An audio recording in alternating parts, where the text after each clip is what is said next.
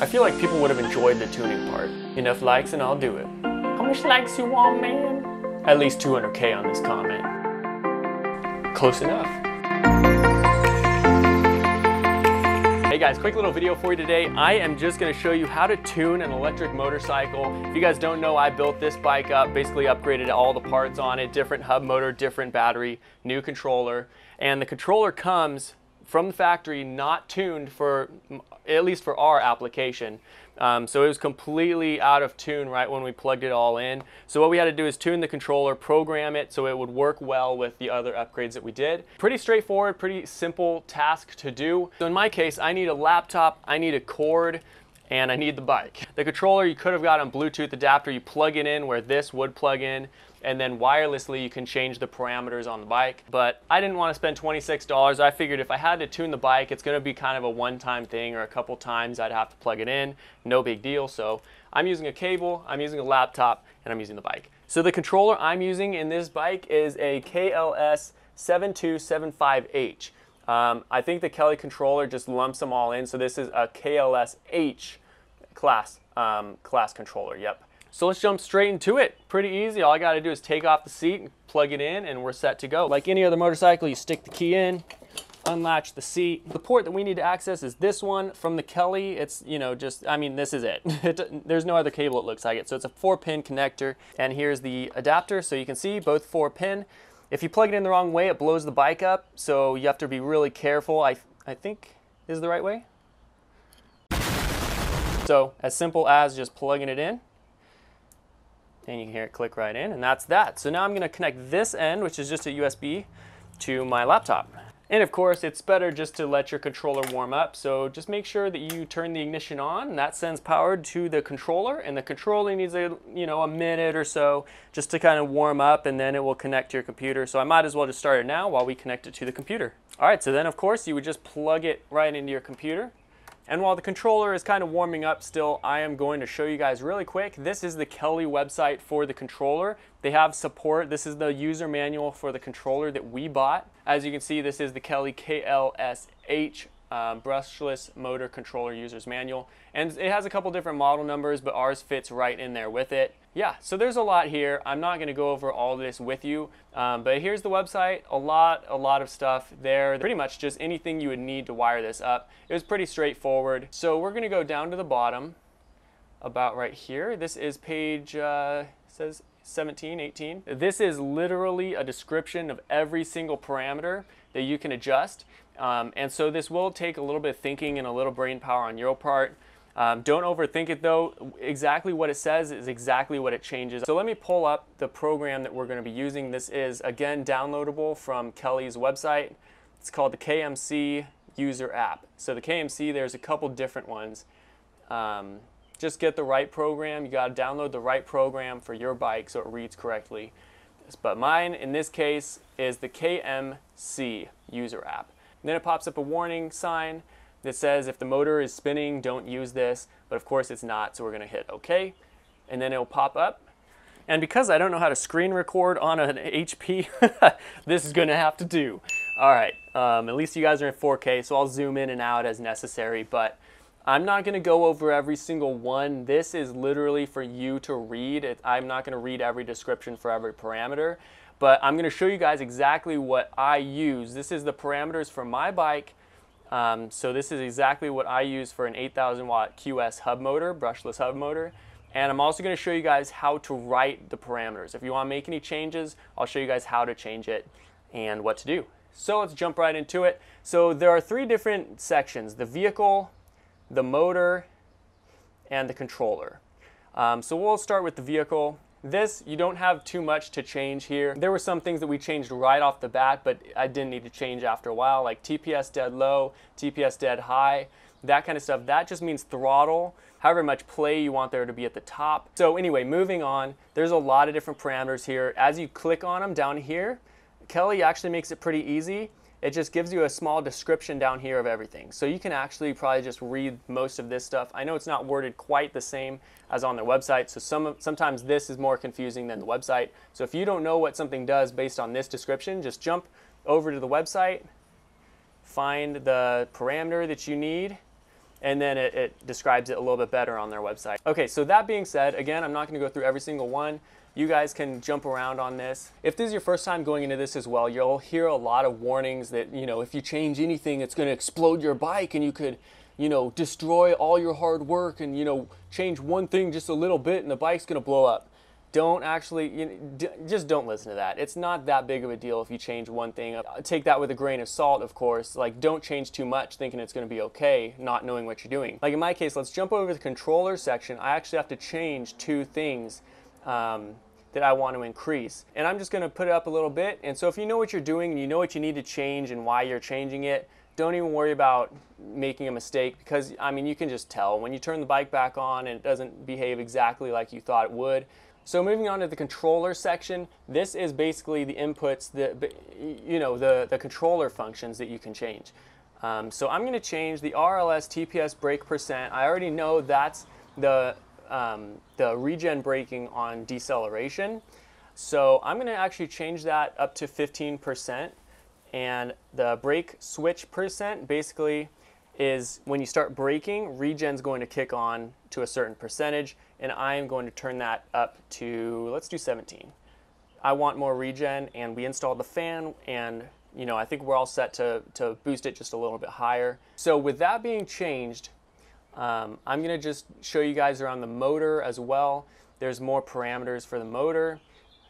Um, but it's kind of just general stuff. I don't even think we changed anything in the motor setting. Actually, never mind. We did change the motor poles because the controller was programmed originally for 8-pole motor. The one we are using, the 8,000 watt QS hub motor, is a 16-pole motor. And then I'm pretty sure that was it, just the poles. And that was a one-time change. I mean, it was just basically matching up the controller to the motor.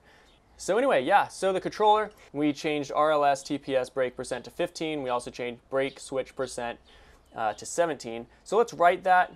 To change anything, all you have to do is change the parameter here and then go down and as long as you're sure you want to make those changes and it won't do anything bad to the motor or the controller or the bike, you just guys, you guys just click right and then it pops up some Chinese for you, but it does say write success in English over here on the left side and then you just hit OK. And as long as that's all that you want to change, go ahead and just quit out of the program and then just switch off the bike, turn off the power to it. And then in my case, I have to flip off the breaker as well because the controller still has a little bit of power in it until I flip off the breaker. So you have to basically hard reset the bike every time you make changes. So let me just reach in here. So you'll hear a click when it flips and that is the breaker turning off. Okay, and with the breaker turned back on, I'm gonna turn the ignition back on, let the controller start warming up again. And now let's uh, make sure the changes wrote correctly. So we'll open the app again. The, the motor is not spinning. And there is an issue if you open it too fast where it says uh, cannot read or you know read error or whatever. You just have to let the controller warm up and just give it a couple minutes and keep trying opening the app and eventually it will pull up the, the, um, the interface. So here it is again. Let's make sure those changes wrote correctly. So we'll go down to controller and looks like they did 15 and 17% is exactly what we wrote. So that's as simple as it gets right there. That's all you need to know. Let's turn the bike on and see how it functions now that we wrote those changes. All right, so I'm gonna put the bike on the center stand, of course, just so that the wheel is free spinning. I adjusted regenerative braking, so let's see how it does. Oh, that's perfect. That's beautiful. That stops pretty quick. Yeah, that, that's exactly what we wanted. That's perfect. That's exactly what we wanted. So with that done, that wraps it up. That's as easy as it gets. All right, and for the sake of the video, just to show you guys how easy it is, I'm gonna actually turn regenerative braking back off and show you how it spins with it without regenerative braking on. So I already have it pulled up, of course. I'm gonna go to the controller settings. I'm going to go to RLS underscore TPS brake percent. I'm going to change that to zero. I'm going to write the changes Write success. I'm going to push OK, and then I'm going to push quit. And turn off the bike, turn off the breaker. Okay, breaker's back on.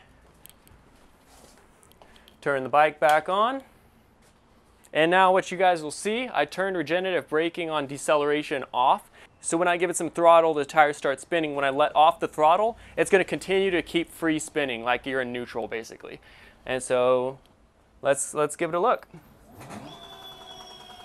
See how easy that is? It took me, I don't know, like a couple minutes to do that. So since I turned off regenerative braking on deceleration, so basically if I release the throttle, you know, regen will kick on and recharge the bike and whatever. Um, I didn't turn off regen on braking. So let me show you guys how that works. So if I increase the speed of the bike, this is the front brake right here. So the rear, rear brake is not activating it at all. So if I pull the front brake, you guys can see regen still kicks on. Just like that. And that was all regen. That's all regen. So yeah, I love it. That, that's perfect. But for the sake of the video, let's turn it back on because that's how I want it while I'm riding. So the bike is already on. So let's go ahead and just pull up the tuning program, the Kelly Controller app. The tire is not spinning. Okay, so let's go down to controller. RLS underscore TPS brake percent. Let's change that. I'm just gonna put it at 14. I'm not gonna go too crazy. And uh, I think that's good. So let's write that write success, push OK, push quit, turn off the bike, turn off the breaker,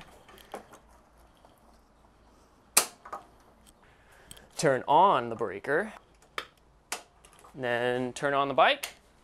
And you guys will see those changes were, were written. So I will throttle it and then as I release, regen will kick back on.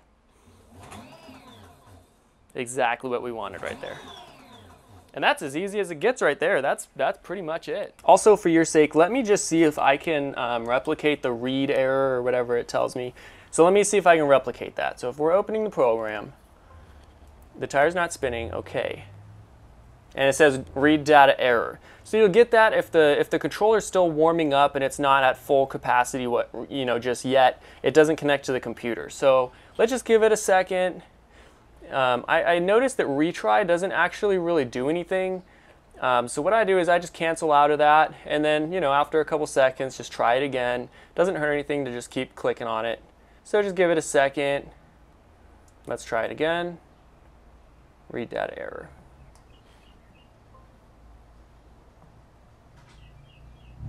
And there it is. Yeah, it took like, you know, it took like about a minute or so, but it pulls it up. You just got to let the controller do its thing and get connected and you're all set to rock and roll.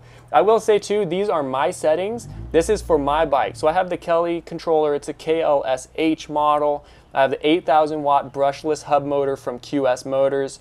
So these are my settings for that setup. These are the vehicle settings here.